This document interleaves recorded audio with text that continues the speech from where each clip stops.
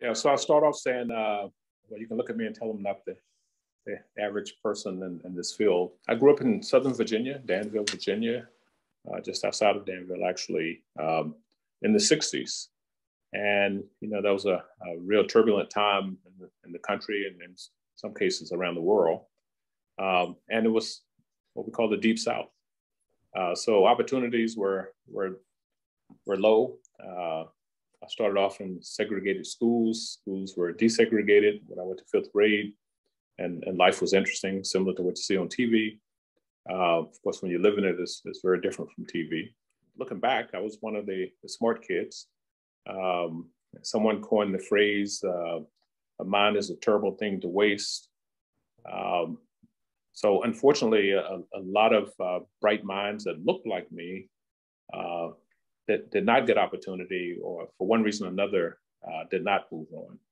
Uh, so I was I was blessed enough to um, through high school. So I took all the advanced classes. I did well, um, and and I did as good as anyone else in the classes.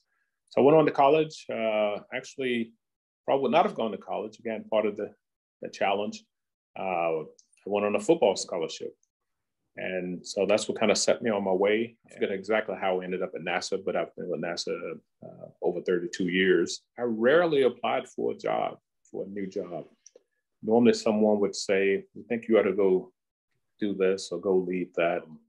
And then I had a lot of mentors, uh, which I didn't even refer to them that way back then, but people I looked up to, and I would go pick their brains. Uh, there were not a lot of people around in my family or otherwise uh, who had the kind of careers that we're talking about here.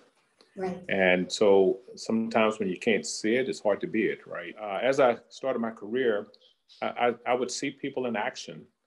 Uh, and I said, geez, I really like the way that person makes decisions, or I like the way that person asks questions. So in some cases, you, you try to emulate a little bit from each person. In other cases, uh, you'd send an email to catch someone after a meeting, say, hey, got a minute, I'd like to chat and you build a relationship. My immediate boss asked me to go to a class, one of the, it was the Goddard, one of the higher Goddard classes at the time. Um, I thought like, I felt like I was beyond that point. I said, well, geez, I could probably teach the class now. And he didn't like my answer, so he went to his boss. And his boss called me over and said, you know, had a little talk with me and told me how important the class was and, and classes like that. Uh, so that kind of set me on my way. And these were classes um, non-technical. I thought if you worked hard, if you were strong technically, you'd be okay.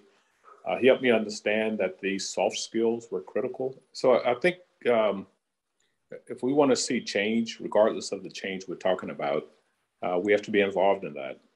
And when we do have opportunity to be in the room, uh, we have to make sure that the conversation facilitates all of that. We we have to be part of the change that we want to see and we have different ways of doing it and all of us